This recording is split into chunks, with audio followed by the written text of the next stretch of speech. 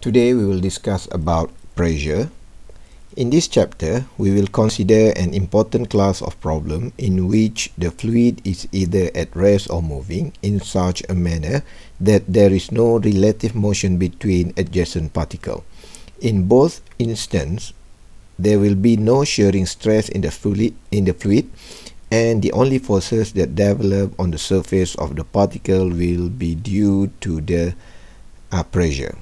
The absence of shearing stress greatly simplifies the analysis and there are no shearing stress present in a fluid at rest. So in this chapter we will discuss about pressure, one of the important element in a fluid static and fluid dynamic. However, to simplify this one, we uh, neglect the existence of shearing stress to make sure uh, to let our analysis become easier.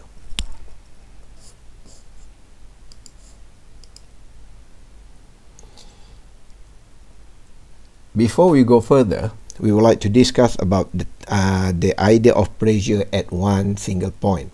The term pressure is used to indicate the normal force per unit area at a given point acting on a given plane within the fluid mass of interest. The equation of motion, which is Newton's second law, F equal ma in the y and z direction are respectively used in this calculation.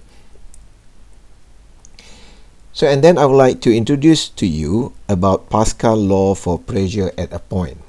By considering the equilibrium of a small fluid element in the form of a triangular prism surrounding a point in the fluid as shown below, a relationship can be established between the pressure Px here in the x direction, Py in the y direction and Ps which is normal to any plane inclined at any angle to the horizontal at this point.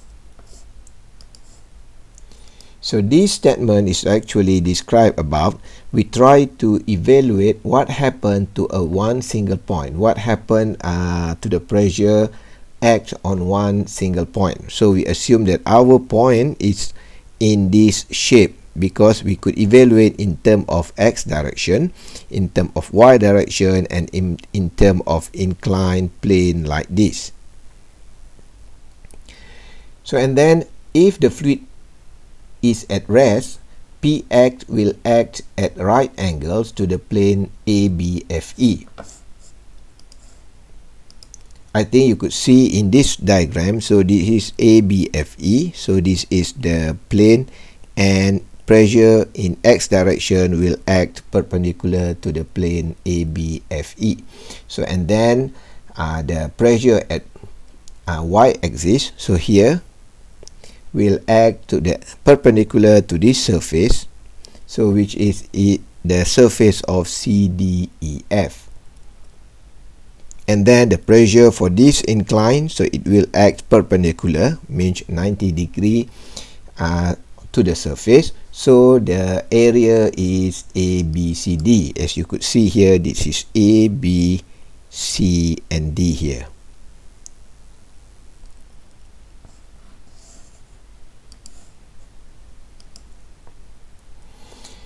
So and then uh, we will evaluate the forces act on the element. So uh, first we uh, evaluate the forces in x direction.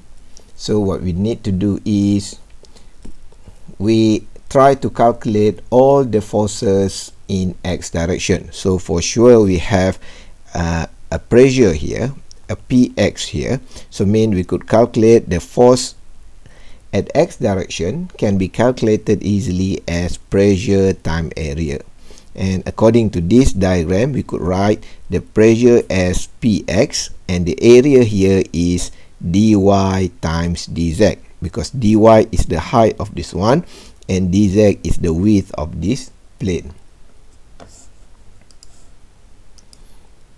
So and then we have uh, a pressure at this uh, inclined surface and this pressure can be transformed or can be split into two component force which is the x component and y component and then the pressure for x component here will create force at x direction. So we could write the, the force from the inclined surface but uh, in x direction can be calculated as PS time the area of ABCD times sine theta. So the sine theta here is actually connected directly to the PS here to, to split or to calculate the component of pressure at x direction.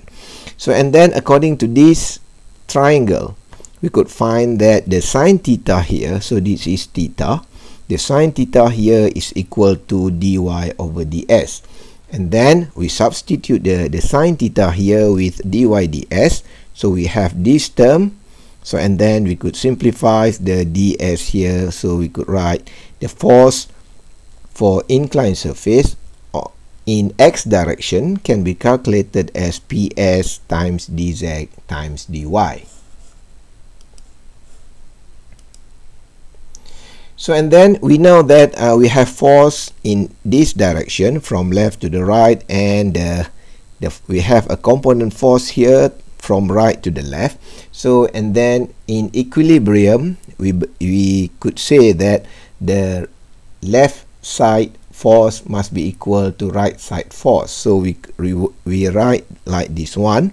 So this term is actually taken from this and this one so we equalize these two forces. So and then we could say that because the area is the same dx dz, so we could say that px is equal to ps. So mean at this uh, moment, so we could say that at one single point here, the pressure that acts on x-axis is actually same with the pressure that acts on inclined uh, direction like this. Now we evaluate the force in y direction. So this is we have a y component that are the the pressure that acts on y axis. So we could calculate the force here as py times dx dz. So dx is the length of this one and the dz is actually the width of this plane so mean this is the area of this one so and then For this component, we need to calculate the component of y direction for the inclined force. So we could write like this. Okay, we could write like this. So PS times area ABCD times cos theta. And then we could replace the cos theta as dx ds. So according to this triangle.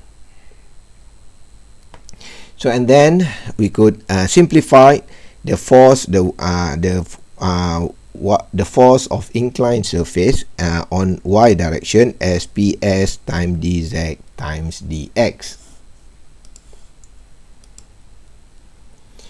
So, and then we believe that even though this is a very small uh, molecule a small area so the mass is still exists for this uh, element.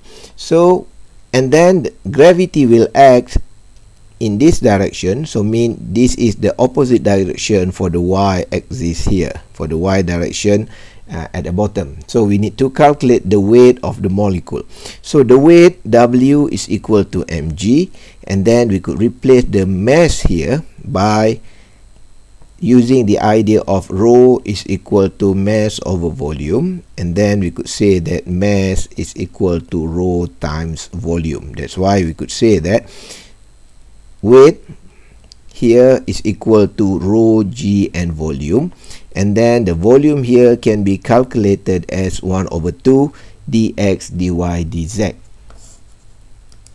It is because the dx so and then we have a dy and with dx here is the volume for the rectangular cube here. So and then we divide by 2 because our element is actually half of that rectangular box.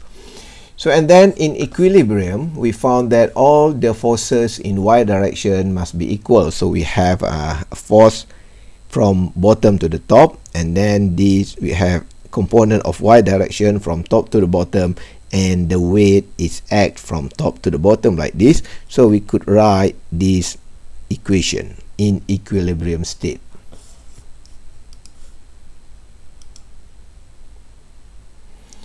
So and then because we are evaluating one single element so to simplify the uh, calculation we assume that the volume is very very small. So we neglect the existence of the volume means dx dy and dz is negligible in this comparison. So means so we could neglect this term. So and then we could say that from this equation so we could neglect we could cancel the dx and dz here. So and then we could say that the py is equal to ps. So and then if we merge our conclusion from x and y direction we could write the pressure at x direction is equal to pressure at y direction and it is equal to pressure at s direction. So according to this uh, mathematical uh, solution so we found we could say that the pressure at a point in a fluid at rest is independent of direction. So means that in one single point uh, in a fluid, so the the pressure is actually act this the the in in same uh, value at any direction.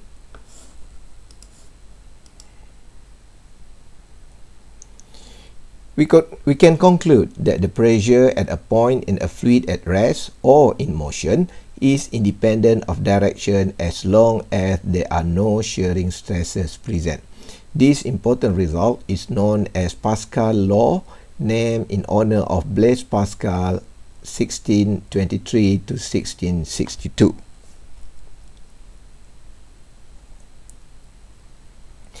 And then I would like to discuss about how to get uh, equation to calculate the pressure for incompressible fluid. So here please uh, be careful because we discuss about incompressible fluid or in simple words we discuss about pressure for liquid. So let's say uh, we have uh, a cylinder like this and this cylinder is filled with water and then we need to calculate what is the pressure at the bottom part here. So the idea is same with the previous idea. We start our calculation by calculating the forces act on the cylinder. So for sure we have x and y direction. So we go for the x direction first. So for x direction, we found that if we have pressure here, and this pressure will act on the surface here. So will give us force in x direction. And then because we have another pressure at, at the left here so multiply with the same cross-sectional area here and then it will give us another uh, unit another amount of force. So means because in equilibrium the, the these two forces will act in opposite direction so means that the resultant of the force occur on x direction is equal to zero. So means we could neglect the calculation or the existence in x direction. Because there is force act on x direction but the resultant force act on x direction is equal to zero because the amount of forces in x in left and right side is equal. Okay now we go for evaluate the forces in y direction. So here at the bottom here you know we have uh, a liquid here. So for sure we have a pressure at the bottom.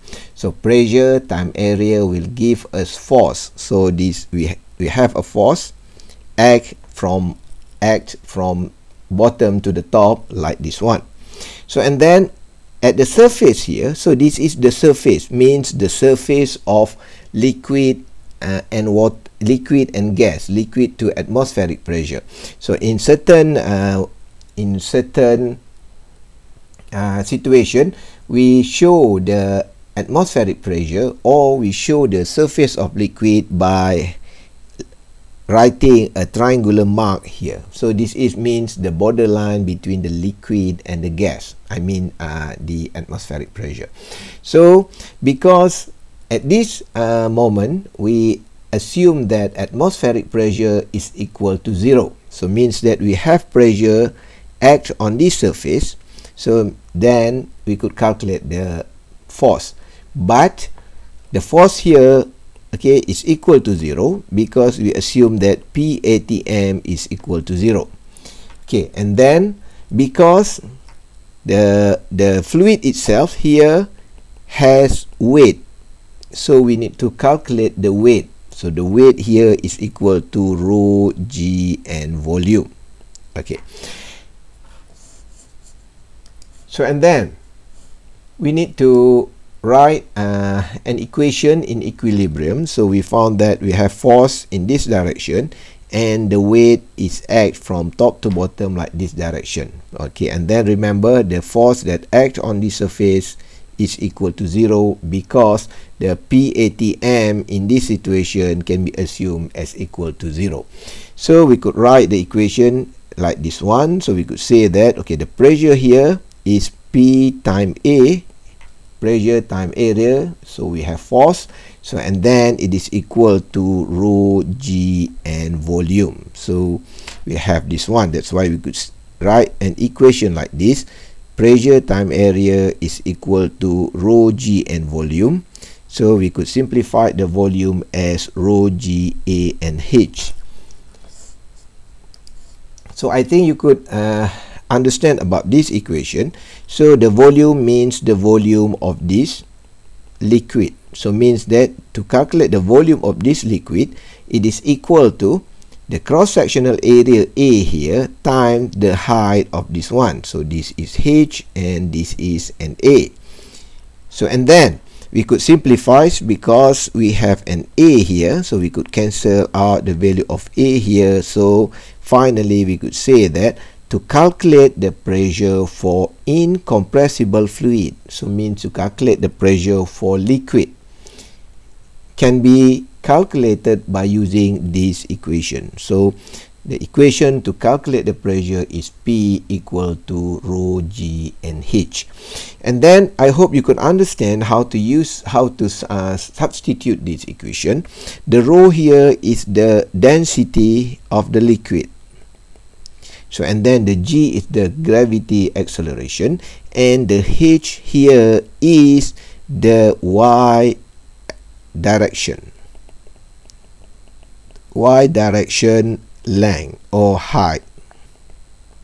So means that you need to take the y direction or y axis height from this point to the free surface. So free surface here is the borderline or the surface where the liquid meets the atmospheric pressure. So this is the definition of the pressure in incompressible fluid. Okay, so please remember the equation for the pressure is P equal to rho GH.